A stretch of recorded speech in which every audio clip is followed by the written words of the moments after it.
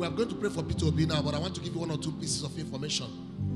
This is a man, campaign have not started, but CNN, Amanpour, sought for him, cried, gave every incentive for that young man to attend to her interview. People lobby Amanpour. People write, beg, but this is the only man they were looking for. Google says that the most popular man on the internet, the most sought man on the internet is Peter Obi. This thing I'm telling you, go and Google them. You have phones. How many of you have the information? Go and find out what I'm telling you. I'm not just telling you stories. Go and Google what I'm telling you.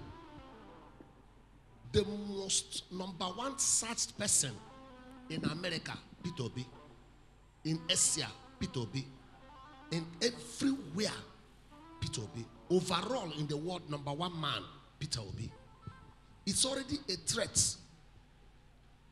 That man is our deliverer. Peter Obi is the Moses of Nigeria. We need to pray for him. God showed me. I've seen it two times. I've been praying by myself, but I don't know whether he can handle the information. But let it be for prayer. You know, the, somebody gave him a helicopter that he uses to move now. I saw where they bombed the helicopter. Fire. I've seen it two times. Fire. Where he was in helicopter and it crashed. We are going to cover him with the blood of Jesus. And we're going to say, Father, let his divine mandate on that man's life be fulfilled. Amen. Open your mouth and pray for Peter Obi.